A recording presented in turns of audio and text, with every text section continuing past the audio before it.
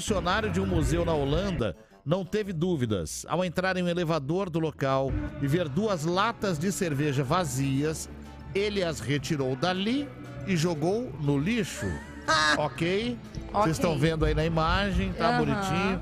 O problema é que essas latas aí não eram lixo. Como assim? Ué. Elas eram obras de arte e faziam parte de uma exposição. Eita, Não, ah, não, mentira. É verdade. Ah, não acredito. É verdade.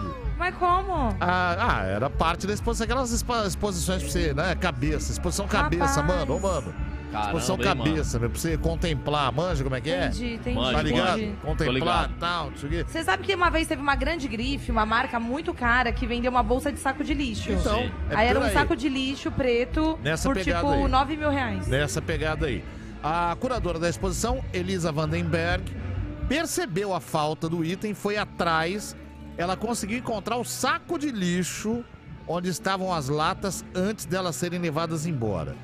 Depois do incidente, a obra foi colocada em outro ambiente, sobre um pedestal, para que não haja mais confusão.